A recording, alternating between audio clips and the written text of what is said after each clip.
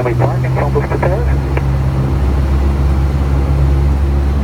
Uh, mag u wel een nieuw rijtje maken voor de toren of uh, voor de Weststrandpatuur? Oké, okay, dan maken we voor de toren een rijtje.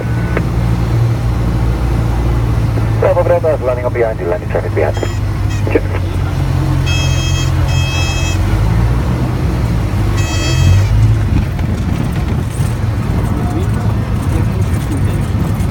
Misschien beter dan als ik de papa andersom neer te zetten met de neus op de wind. Prima, andere, andersom.